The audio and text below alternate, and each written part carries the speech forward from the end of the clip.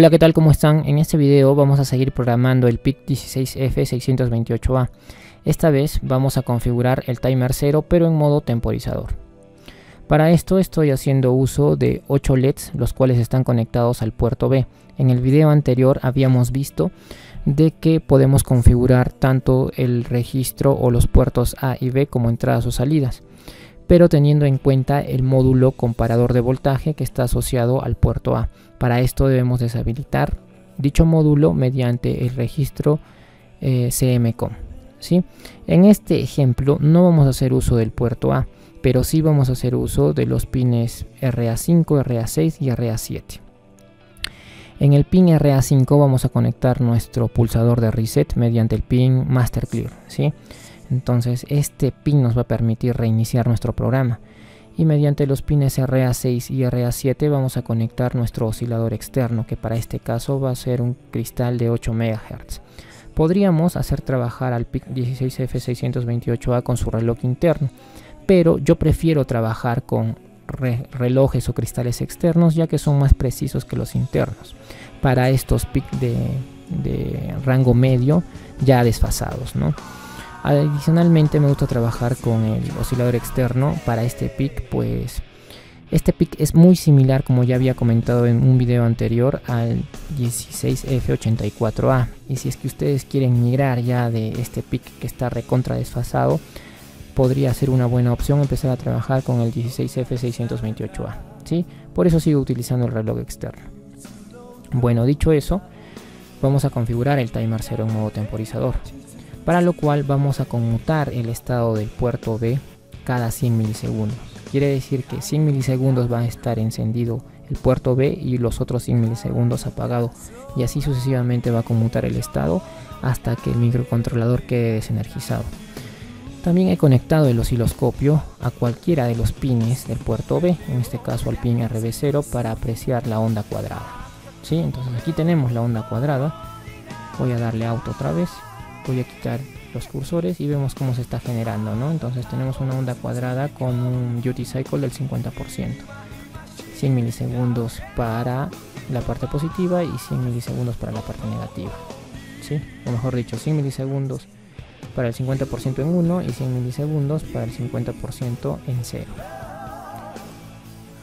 ¿qué más les puedo comentar de aquí de la simulación en Proteus?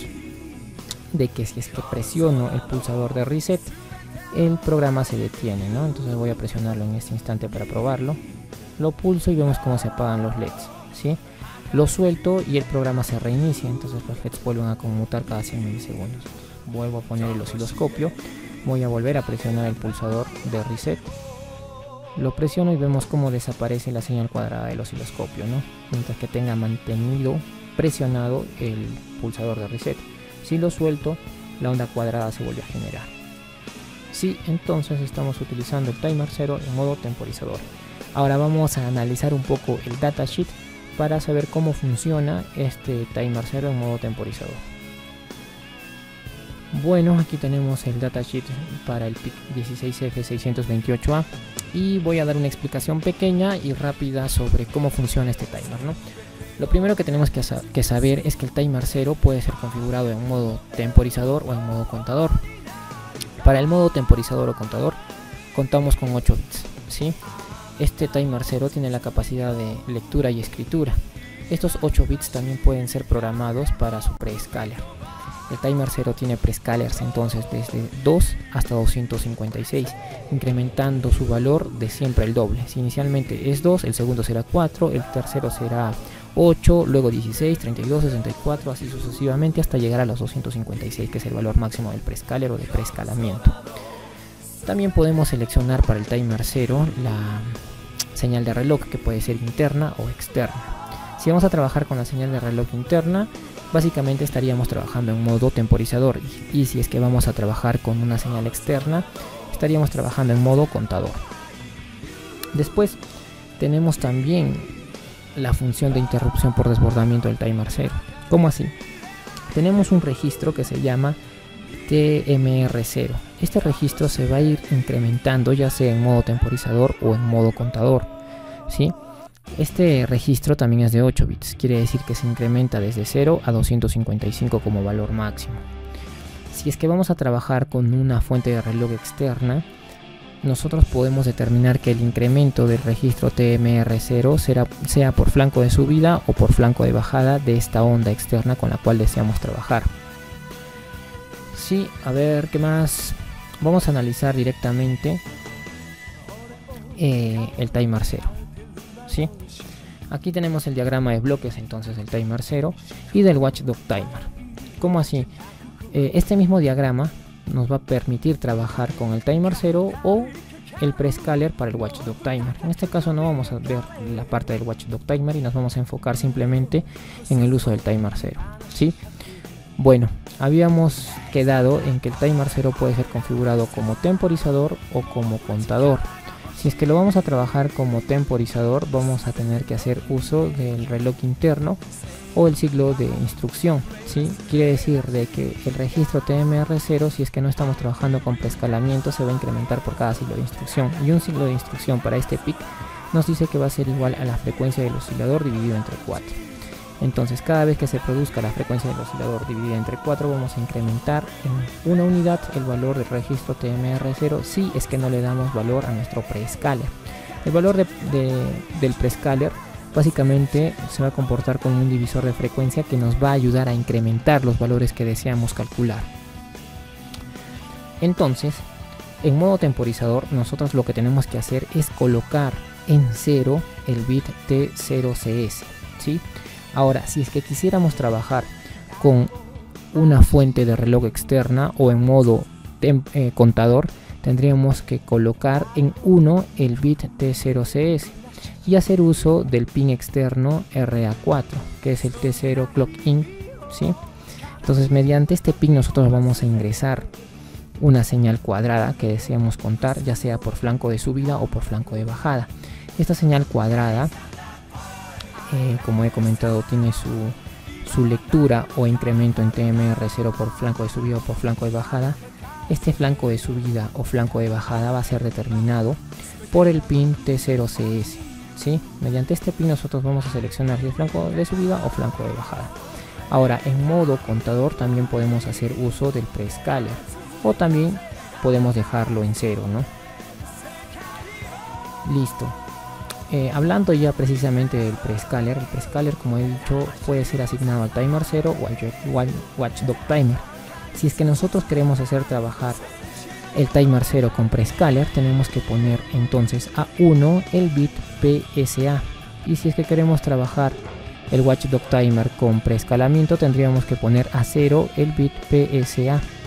Recordemos que el prescaler para el timer 0 tiene valores desde 0 a 256. ¿sí?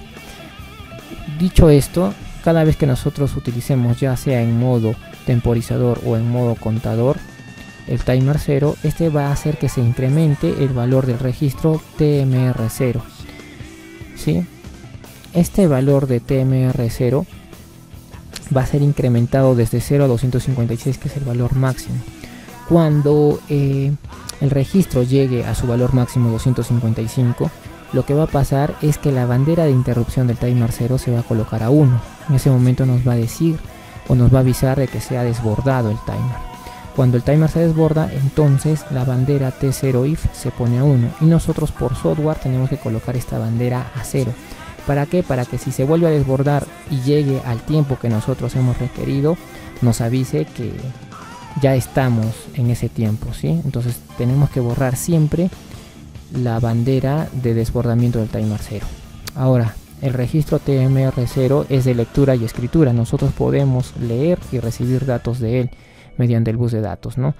Está de más decir que es de 8 bits, ya que podemos contar de 0 a 255 como valor máximo, ¿sí? Eso es lo que les podría decir en resumen de la configuración del timer 0, que es bien sencillo. Luego vamos a analizar rápidamente qué registros tenemos que configurar para poder hacer uso del timer 0.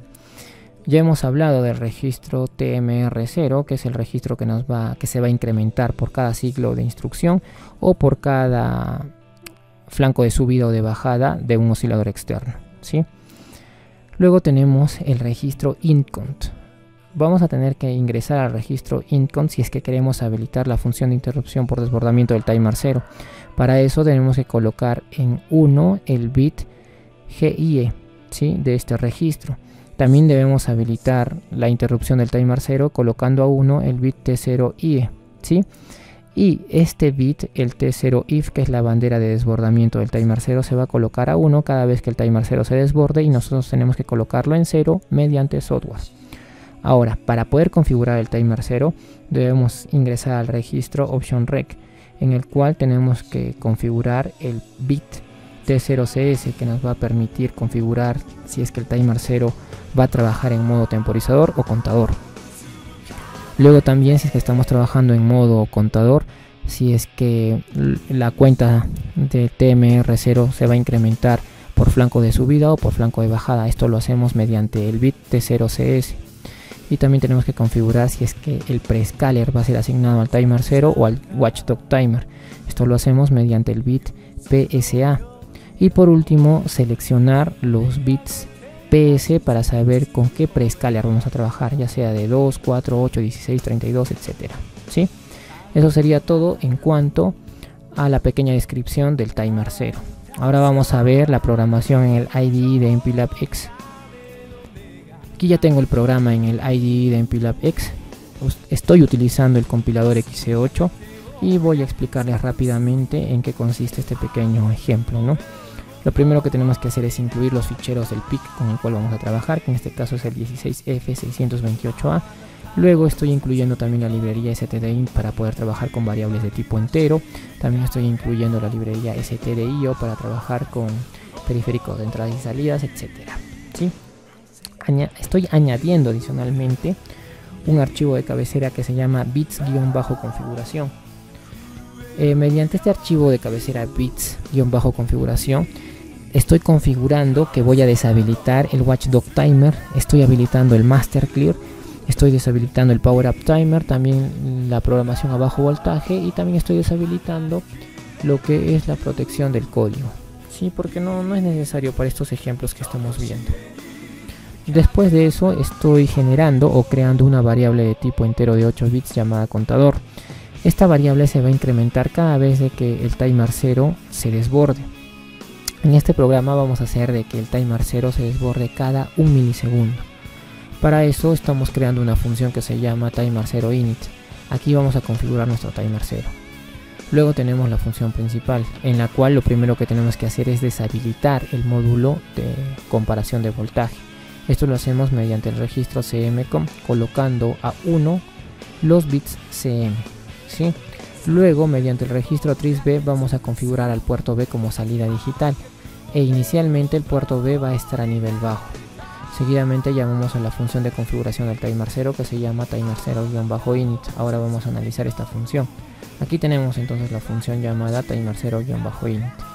Lo primero que tenemos que saber es que necesitamos recordar la fórmula del timer 0 la cual es la siguiente, ¿no? El tiempo requerido en segundos va a ser igual a la al ciclo de instrucción, que es 4 sobre la frecuencia del oscilador multiplicado por el prescaler, si es que trabajamos con prescaler, y esto a su multiplicado por 256 menos el registro TMR0. Como nosotros deseamos generar un milisegundo, reemplazamos nuestros datos aquí, entonces el tiempo requerido será un milisegundo, la frecuencia del oscilador es de 8 MHz, tenemos que calcular el prescaler y también tenemos que calcular el valor de TMR0.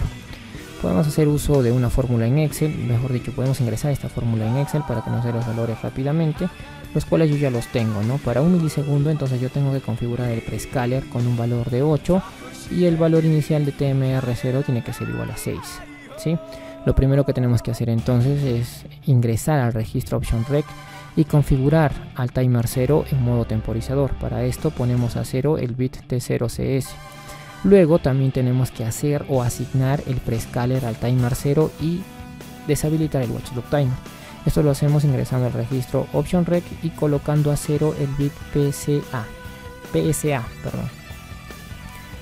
Por último tenemos que configurar el prescaler con un valor de 8. Esto lo hacemos mediante los bits PS colocando el número 10 en binario y de esa manera estamos configurando el prescaler a 8 bits. También tenemos que cargar el valor de 6 al registro TMR0 para poder alcanzar un milisegundo de desbordamiento del timer 0. Y tenemos que deshabilitar la bandera de interrupción de desbordamiento del timer 0. ¿sí? Eso sería todo en cuanto a la configuración del timer 0. Regresamos a la función principal. Después de llamar a la función de configuración del timer 0, ingresamos al bucle infinito en el cual vamos a preguntar inicialmente por la bandera de desbordamiento del timer 0.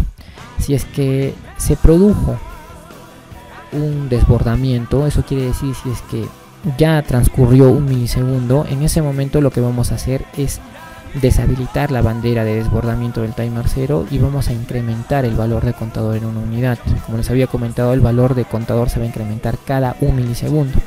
Y a su vez vamos a preguntar si es que el valor de contador es igual a 100. Si es que el, valor de contador es igual a 100, quiere decir que ya transcurrieron 100 milisegundos. En ese momento tenemos que reiniciar el valor de contador y vamos a producir la conmutación del puerto B. ¿sí? Es así como estamos conmutando el estado del puerto B cada 100 milisegundos. 100 milisegundos en alto y 100 milisegundos en bajo. Bueno, espero que me hayan entendido. De todas maneras, yo les voy a dejar la programación en la descripción del video. Y como ven, cada línea de programa está comentada para que puedan entender a más detalle este pequeño ejemplo. Regresamos entonces a Proteus y observamos cómo se está produciendo la conmutación. ¿sí?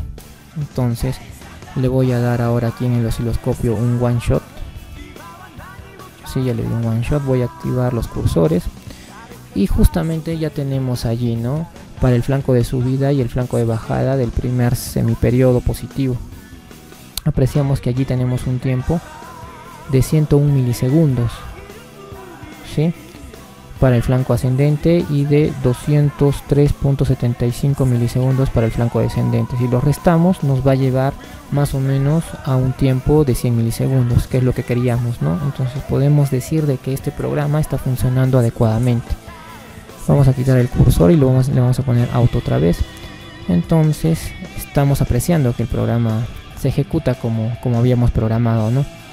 eso sería todo por este video. Ya saben si quieren que siga subiendo contenido apóyenme dándole like al video compartiendo los videos compartiendo mi canal para que así yo pueda seguir subiendo contenido y estar más activo aquí en el canal. Eso sería todo. Muchas gracias